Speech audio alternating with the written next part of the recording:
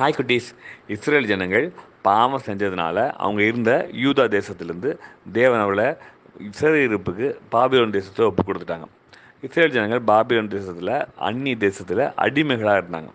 இது எப்போ நடந்தது அப்படின்னா இயேசு கிறிஸ்து இந்த பூமியில் பிறக்கிறதுக்கு ஐநூறு வருஷத்துக்கு முன்னாடி நடந்த சம்பவத்தை பற்றி தான் நம்ம இன்றைக்கி பார்க்க போகிறோம் அப்போது அந்த பாபிலோன் ராஜா அந்த தேசத்தில் அர்த்தசேஷ்டா அப்படிங்கிற ஒரு ராஜா தான் என்ன பண்ணார்? அவர் ஆட்சி செஞ்சுட்டு வந்தார். அவங்களுக்கு சாப்பாடு பரிமாறுற பானபாத்திர ஒரு வேலையில் வந்து வந்து நெகேமியா அப்படிங்கிற ஒரு அண்ணா என்ன பண்ணிட்டுருந்தாங்கன்னா வேலை செஞ்சுட்டு இருந்தாங்க. ஒரு நாள் இந்த நெகேமியா அண்ணாவை பார்க்குறதுக்கு யூதா தேசத்துலேருந்து சில மனிதர்கள் வந்தாங்க. அவங்கள விசாரித்தாங்க அப்போது நெகேமியா அண்ணன் கேட்டாங்க நம்ம ஆண்டவருடைய ஆலயம் எப்படி இருக்குது?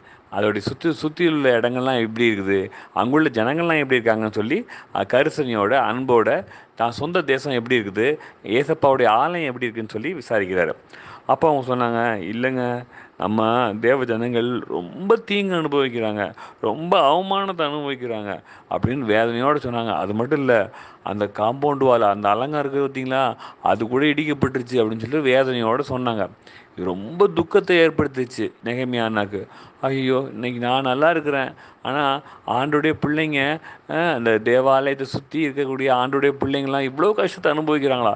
இவ்வளோ தீங்கு அனுபவிக்கிறாங்களா? தேவனுடைய ஆலயத்தினுடைய அலங்கம் காம்பவுண்ட் எல்லாம் இடிஞ்சு கிடக்குதா? சே என்ன ஒரு வேதனையான ஒரு காரியம்னு சொல்லிட்டு அவர் என்ன பண்ணாருன்னா ஜெபம் பண்ண ஆரம்பிச்சிட்டாரு. பரலோகத்தின் தேவனை நோக்கி மன்றாட ஆரம்பிச்சிட்டாரு. அவர் எப்படி உப எப்படி ஜெ- ஜெபம் பண்ணாருன்னா உபவாசத்தோட சாப்பாடு இல்லாமல் ஜெபம் பண்ணார்.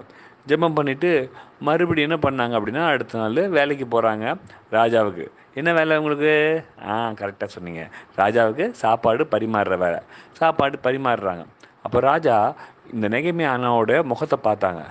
இவன் முகத்தில் ஏதோ ஒரு வித்தியாசம் தெரியுதுன்னு சொல்லிட்டு நெகமியா என்னாச்சு? உனக்கு உடம்பு முடியுது முடியலையா? ஏன் உன் முகம் ஒரு மாதிரி இருக்குது இல்லை இல்லை இல்லை அப்படின்னு சமாளிக்கிறாரு. இல்லை நீ சொல்லு. உன் முகம் சரியில்லையா. என்னாச்சு? உனக்கு வந்து உடம்பு சரியில்லையா? அப்படின்னு சொல்லி ராஜா வந்து நெகமியா கேட்டாங்க. இல்லை இல்லை எனக்கு உடம்பு நல்லா தான் இருக்குது என் மனசு தான் சரியில்லை அப்படி சொன்னாங்க. ஏன்? உன் மனசுக்கு என்ன பிரச்சனை? என்ன சொல்லு? எனக்கு எதுவாக இருந்தாலும் மறைக்காமல் சொல்லு அப்படி சொன்னாங்க. இல்லை யூதாவிலேருந்து என் சொந்த தேசத்துலேருந்து சில மனிதர்கள் வந்தாங்க. எங்கள் நண்பர்கள் உறவினர்கள்லாம் வந்தாங்க. அவங்கள்ட்ட கேட்டேன். அப்போ எங்கள் ஆலயம் இருக்குது பார்த்தீங்களா தேவாலயம். சுற்றி இருக்க காம்பவுண்ட் வால்லாம் இடிஞ்சு கிடக்குதான். அங்குள்ள மக்கள்லாம் மகா தீங்கையும் அவமானத்தையும் அனுபவிக்கிறாங்கன்னு சொல்கிறாங்க அது பார்த்துட்டு நான் கேட்டு கேட்டுவிட்டு நான் எப்படி நான் வந்து சந்தோஷமாக இருக்க முடியும்? எனக்கு ரொம்ப கஷ்டமாக இருக்குது அப்படி சொல்லி சொன்னாங்க. உடனே என்ன பண்ணாங்க தெரியுமா? ராஜா சொன்னாங்க கவலைப்படாத நான் உனக்கு லெட்டர் தரேன் அப்படி சொல்லிட்டு அந்த ஆலயம் கட்டுறதுக்கு அதுக்கு தேவையான மரங்கள்லாம் நான் கொடுக்கும்படி நான் லெட்டர் தரேன். நீ போ நீ போய் அதெல்லாம் சரி செஞ்சுட்டு வா அப்படி சொன்னாங்க. பார்த்தீங்களா அஹ், நெகேமியா வந்து ஆண்டவர் நோக்கி ஜெபம் பண்ணால் தேவன் அவனுக்கு இறங்குனதுனால ராஜாவே மனதிறங்கி உதவி செய்யும்படி ஆண்டவர் செஞ்சார் பார்த்தீங்களா?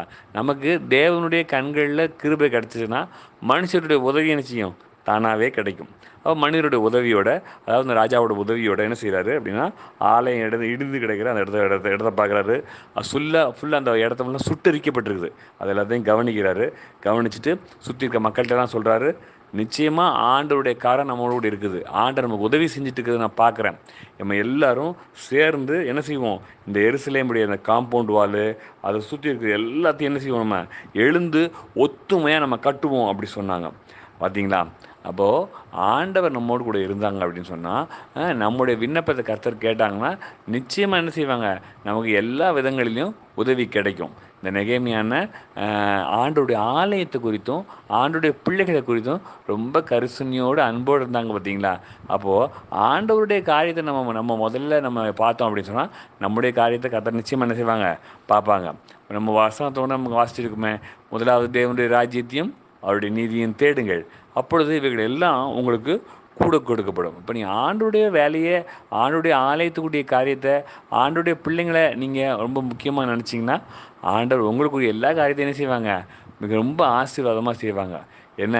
ஆண்டவருக்கு முதலிடம் கொடுப்பீங்க தானே? பாய்